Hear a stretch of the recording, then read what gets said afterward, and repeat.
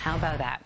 All right, eight years ago, former Secretary of State Henry Kissinger wrote a column after Russia's first invasion of Ukraine.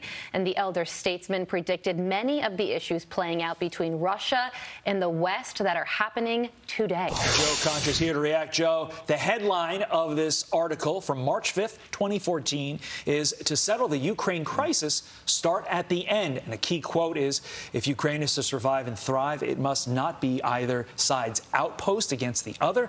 It should function as a bridge between them. Joe, not just in this situation, but in situations throughout our current time in place here in America? Why do our leaders always fail to follow the warning signs despite them being right in front of our face? There were plenty, right? I mean, we're going back eight years now with this Kissinger piece. And another key quote from that, Todd, is, quote, a wise U.S. policy towards Ukraine would seek a way for the two parts of the country to cooperate with each other. We should seek reconciliation, not the domination of a faction. He was also adamant. He said that Ukraine should not join NATO. That would only provoke Putin. And obviously, Putin now uh, is not only carrying out this war, but doing it in the most insidious ways possible, bombing maternity hospitals, bombing bombing children, hospitals. This is a monster who's not going to stop until he gets what gets what he wants. The, the question is, after Ukraine, given that Russian forces are being so bogged down and, and getting a fight they never expected, will they even have enough to go to a Poland or truly attack a NATO country where then we have to act? And that's what Kissinger is talking about as far as where is this going next and where do we really draw a line as far as using U.S. forces against a nuclear power, guys? Yeah, that's right, Joe. And this is truly unbelievable. The fact that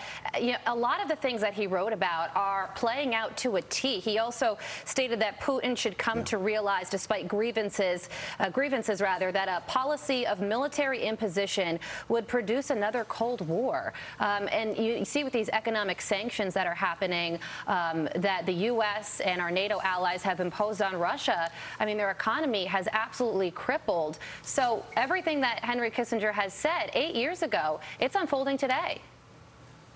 It is, and and what you worry about now is okay. All the the sanctions obviously are going to have, and they already have had a profound effect on the Russian people in terms of lines to get money just simply out of bank accounts to use credit cards to be part of the world economic system. We're a global economy at this point, and then you wonder how is Putin in a desperate situation if the Russian people uh, turn on him more. Uh, what, what, will he do then, backed into a corner? Does he just say, okay, I give up, or does he then escalate this and double down like we're seeing with Ukraine in the bombing of civilians? So uh, this is a situation that isn't going to resolve itself anytime soon, and I'd hate to say it's probably going to get worse before it gets better if you listen to all the military analysts yeah. saying that this is going to go on perhaps for years, guys. I think sadly we know the answer to your question. It will escalate. Meantime, Joe, yeah.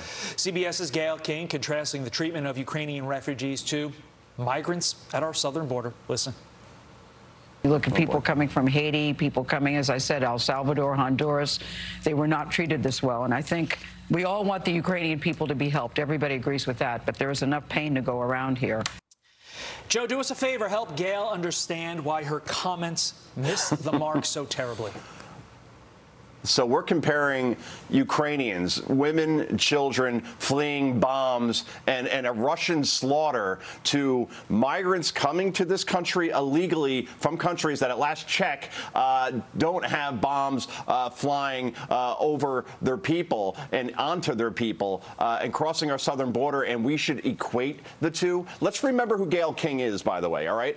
Uh, after President Obama left office in uh, 2017, guess who went on vacation? Vacation with the Obamas. Gayle King went on vacation with the Obamas. And if you're going to be seen as a CBS News anchor, probably shouldn't be seen in public uh, hanging out with ex-presidents, uh, sutting yourselves and, and, having a great time. It's, it's a bad look, and I'm pretty sure Cronkite uh, didn't go on vacation with uh, any of the presidents that were around when he was covering them at CBS News. So we, we know who we're dealing with here. It's not a journalist, it's an activist. And to compare the two between Ukrainians fleeing Ukraine because they have to, and they, are bringing nothing with them with uh, illegal migrants coming into this country and not being treated well.